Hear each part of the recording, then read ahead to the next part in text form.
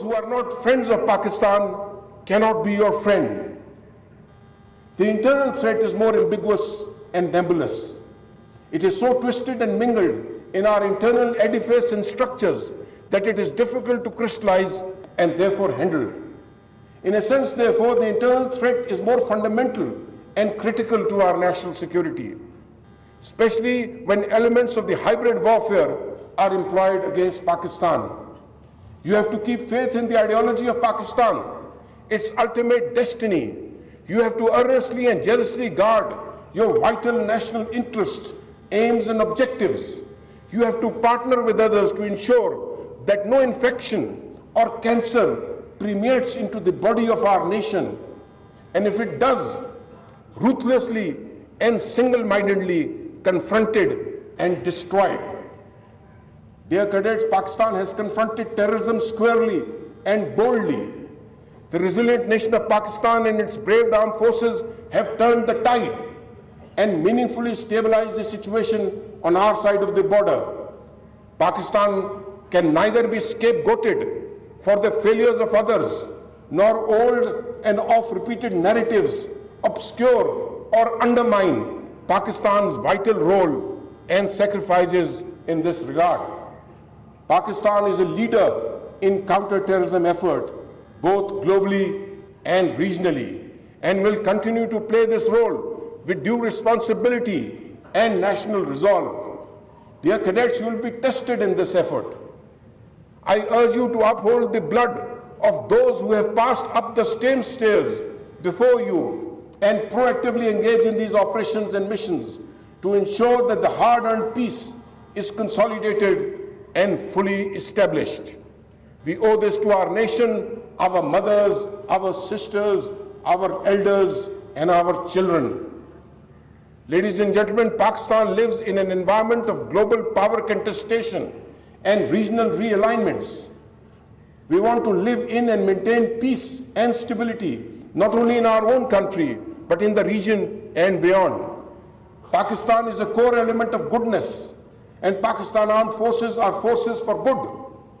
Pakistan is fully alive to the threats and challenges that are being posed to its national security and defense. The world's largest acquisition of arms, including the latest deal to get S-400, coupled with operationalization of dangerous doctrines like the cold start, are destabilizing the security environment.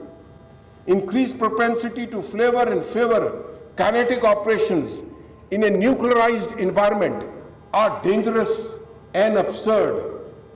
Let sanity prevail. Let there be no doubt about the will and resolve of the Pakistani nations and its armed forces to maintain peace and deter and defend against any threat with surgical precision and professional excellence. Ladies and gentlemen, Pakistan will continue to stand by our Kashmiri brothers in their rightful cause for freedom, justice, and the right for self-determination. We always have and will continue to put in our resolute moral, political, and diplomatic efforts to find a solution to this enduring conflict as per UN resolutions. I term Kashmir as the greatest moral crisis of South Asia. We will leave no stone unturned to bring into light the plight of the innocent Kashmiris and expose the perpetuators who have resorted to a policy of oppression, suppression, indiscriminate use of brutal force, and have systematically violated the fundamental human rights. In Afghanistan, Pakistan strongly believes that there is no military solution to this 17-year-old war. A reconciliation process is the only way to achieve sustained and durable peace in Afghanistan. Pakistan seeks a closure to the Afghan conflict and is playing and will continue to play a meaningful role. Towards this end, it will partner with all in this common cause and objective. However, non-contiguous powers have no regional role in Afghanistan. These artificial implants are alien to the natural, historical, social, and religious construct of our re region. Hopefully, Pakistan and Afghanistan will be able to achieve bilateral peace and prosperity, ushering a new era of growth and development in our region. Ladies and gentlemen, Pakistan has been engaged with the US to energize its long and established relationship. We would like to reinforce this. Our relations with Russia are gaining strength in their scale and scope. And finally, but most importantly, our all-weather friend and iron brother, China, remains our trusted brother and friend. Pakistan believes that the potential of its location and relevance will provide it the meaningful role which will contribute towards regional peace and security duly interfaced with global peace and security.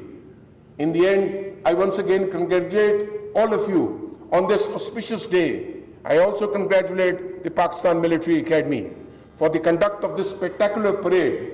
May Allah be your guide and protector. Ameen. Pakistan Armed Forces Zindabad, Pakistan Zindabad, Pakistan.